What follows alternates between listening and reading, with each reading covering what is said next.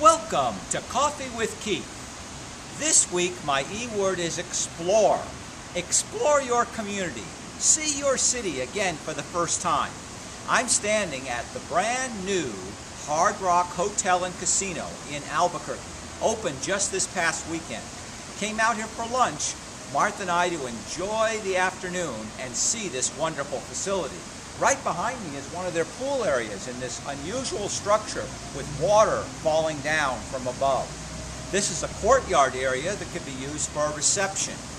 I'm always intrigued by what you find when you take time to visit your own city and really do some exploring.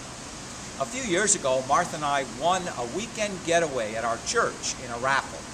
It was a weekend in our city of Albuquerque at a hotel that we've passed by many times. And I have to tell you, you might think, what would you do with a weekend in your own city? Well, we decided to use that weekend to get away and not go home over that weekend period, to really explore that side of the river. It was on the opposite side from where we live.